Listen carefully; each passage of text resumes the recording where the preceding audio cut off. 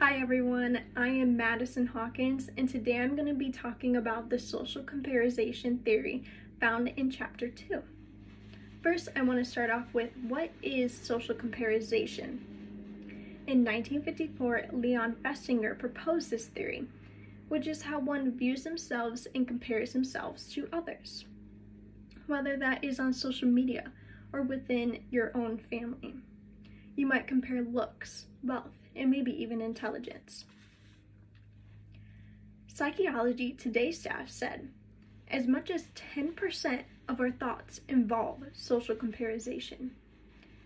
Sadly, I have personally struggled with social comparison, whether that is with my peers or maybe even a celebrity found on Instagram.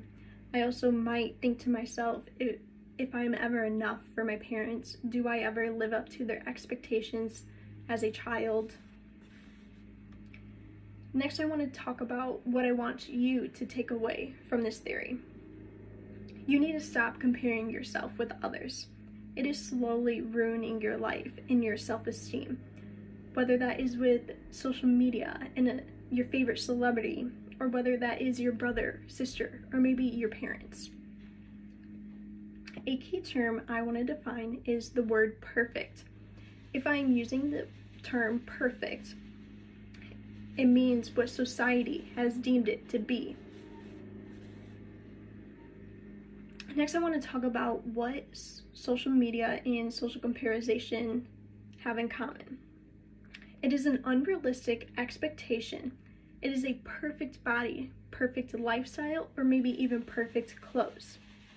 As Claire Chamberlain from Net Doctor said, we see fake and edited pictures to fit the word perfect, and we view them as something we want to be.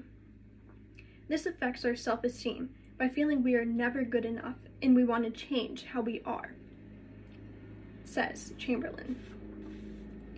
Next is family comparison. You might feel worthless if you're ever compared to a sibling, such as, Are you athletic enough as your brother or sister? Or maybe, are you intelligent enough as your mom or your dad? This slowly is deteriorating our confidence. Believe it or not, family comparison can lead to an eating disorder. As Basel 2020 said, moreover, 5.7% of females and 1.2% of adolescent males in community samples showed eating disorders which is absolutely unbelievable and sad at the same time. Next, I want to talk about everyday communication with social comparison. It is how you view yourself and how you view others. An example would be when you're speaking with someone, you might judge their appearance at first glance. It affects your tone and involvement in the conversation. You might be thinking, this person looks better than me, they have nicer clothes than me, or their hair's better than mine. You're distracted and you're slowly putting yourself down, and that will always stay in the back of your mind while having this conversation. How you can improve conversations is by focusing on what truly matters. Nothing in this world matters more than what is right in front of you. And you just need to focus on that. An example would be waste to improve your communication is focusing on why you're having this conversation with this said person. I suggest that you look at their face and into their eyes, not their body or their clothes. In conclusion, social comparison is a very toxic mindset. Social media defines society's perfect, but not ours. Family are the ones who love you the most, and they should never judge you for who you are and what you have to bring to the table.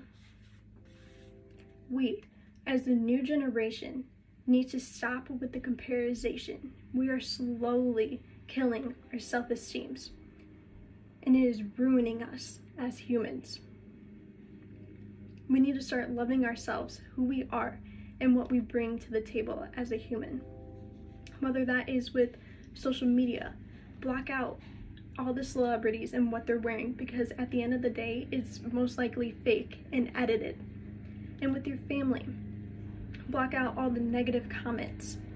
You are who you are, and stay true to yourself. Thank you.